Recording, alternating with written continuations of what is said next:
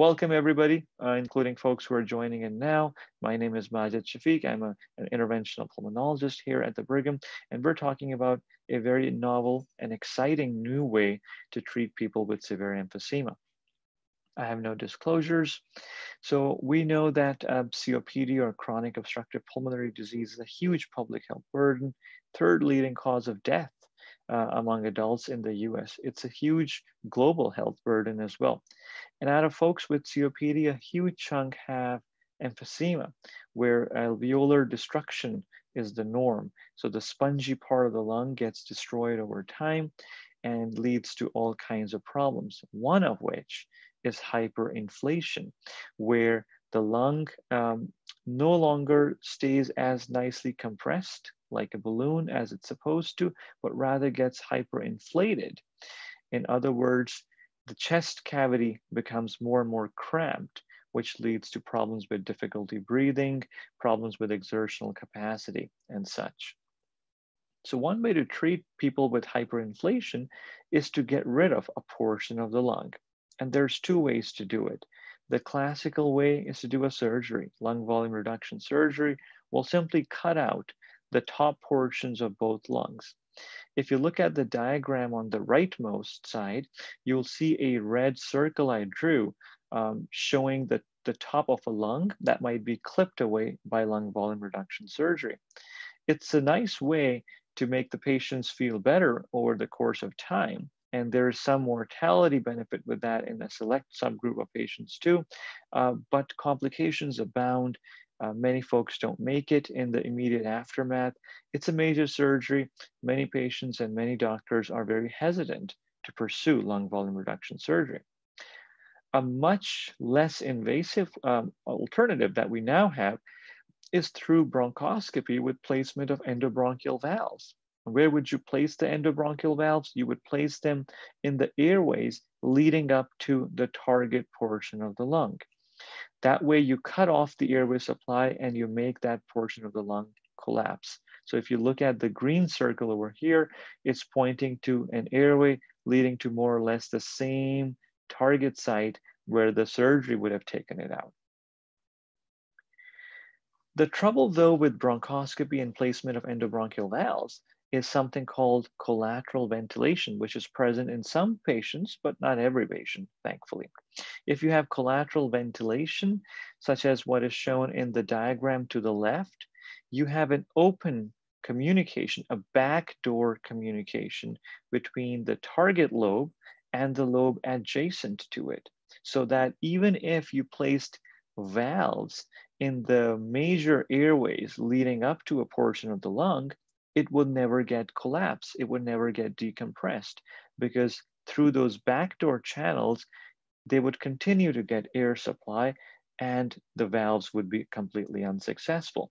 So what you want to do is you want to select the right patient with hyperinflation and no collateral ventilation, such as what is shown in the diagram to the right, where there is a complete fissure separating the upper portion of the lung and the lower portion of the lung so that if you now occluded the main airways through one-way valves, you could hope to achieve airway decom uh, lung decompression.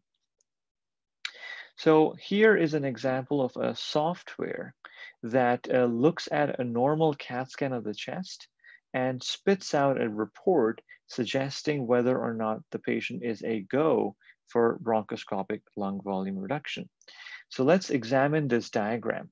If you look at it, you, you see two lungs over here. The one on the left is actually the right lung, and the one on the right is actually the left lung. And you see different shades of gray at different portions of the lung that suggest just how badly diseased any portion of the lung really is. That's important to us we want to obviously target a portion of the lung that is, you know, fairly diseased so that if you're going to sacrifice a portion of the lung, we sacrifice not the most healthy portion of the lung, but one of the more diseased portions of the lung. So in this case, I would either go for, uh, you know, the, the most black portion of the lung or this gray portion of the lung on the right side.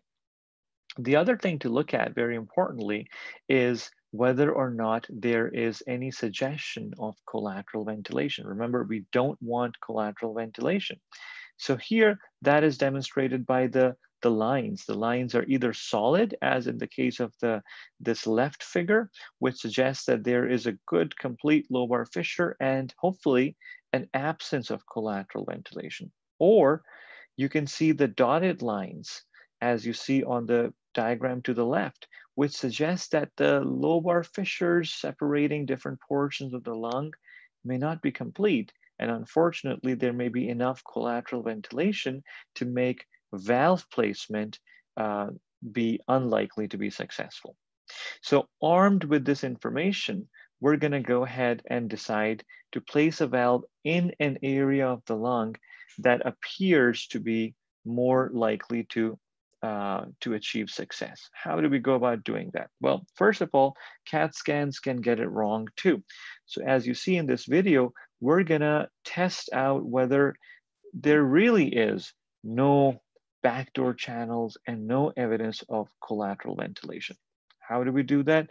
We do that by inflating a balloon and occluding airway, air entry into a portion of the lung that we want to ultimately target. So here we've inflated a balloon and at the very distal tip of this catheter, more distal to the balloon, we have an airflow sensor that is now sensing, as we see, whether or not airflow gets to be lower and lower and lower over time.